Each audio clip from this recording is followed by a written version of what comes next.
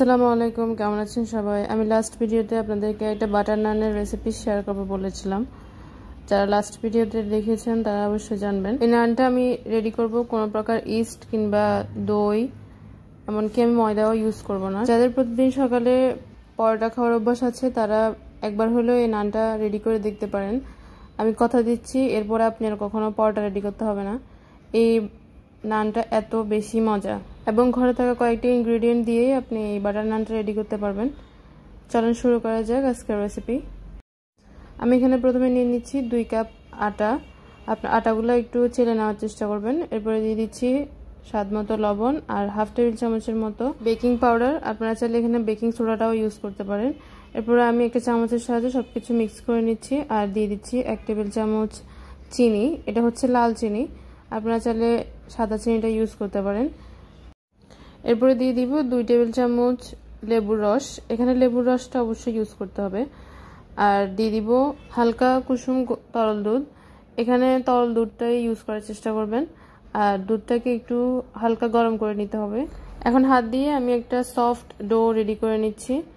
ডোটা রেডি করার এক পর্যায়ে আমি দিয়ে দিব দুই টেবিল চামচের মতো খাবার তেল কিংবা সয়াবিন তেল।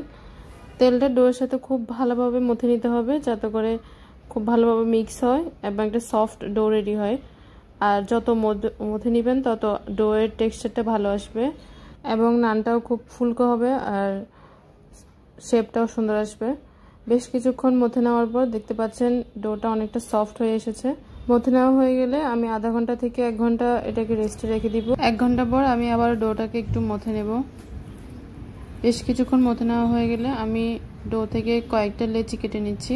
লেচিগুলো একটু বড় আকারে কাটবেন। আমি দুই কাপ আটা থেকে পাঁচটার মতো নান রেডি করেছি। বাটার নান স্বাভাবিকভাবে একটু রুটি কিংবা বড়টা থেকে একটু মোটা প্রকৃতি হয়। এখন একটা লেচি নিয়ে আমি রুটির মতো গোল করে বেলে নিচ্ছি।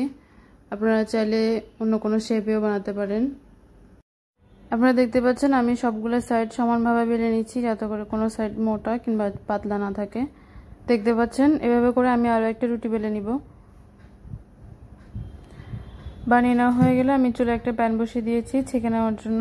প্যানটা একটু গরম হয়ে আসলে রুটিটা দিয়ে দিবেন। আর চুলার আঁচ রাখবেন মিডিয়াম টু লো। একটা পাশ উল্টে দিয়ে এরপরে আমি এখানে দিয়ে দিব একটু বাটার। বাটারটা আমার ডিপ ফ্রিজে ছিল, যাই আমি আগে থেকে একটু মেল্ট করে নিয়েছি। আপনারা চাইলে এখানে ঘিও ইউজ করতে পারেন। যে পাশটায় আমি বাটার দিব, সেই পাশটাকে উল্টে দিব।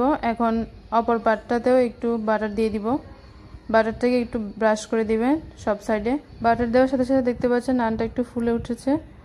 আর চুলার আঁচ মিডিয়াম থেকে লোতে রাখবেন, এতে করে নানটা খুব ভালোভাবে কুক হবে।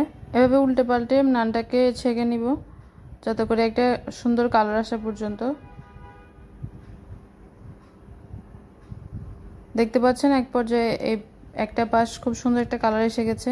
আপনারা চাইলে এই পর্যায়ে একটু ধনে পাতা অ্যাড করতে পারেন নানের উপরে দিয়ে। এতে করে একটা সুন্দর ডেকোরেশন হবে। এ যে আমি চুলা থেকে নামিয়ে নিব নানটাকে। দেখতে পাচ্ছেন, আমি পাঁচটার মতো নান রেডি করে নিয়েছি এখানে। নানটাকে দেখে বুঝতে পারছেন কতটা সফট হয়েছে। আর এটাকে আমি গ্রিলের সাথে সার্ভ করেছিলাম। আপনারা চাইলে এটা চায়ের সাথেও অ্যাড করতে পারেন। রেসিপিটা আপনাদের কাছে কেমন লেগেছে অবশ্যই আমাকে কমেন্ট করে জানাবেন।